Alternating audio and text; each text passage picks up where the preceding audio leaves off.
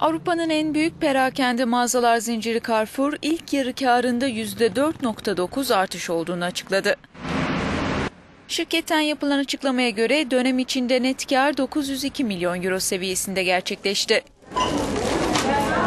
Fransız Carrefour, yılın ikinci çeyrek döneminde ise konsolide satışlarını %1,3 artırarak 20 milyar 460 milyon euroya çıkarmıştı.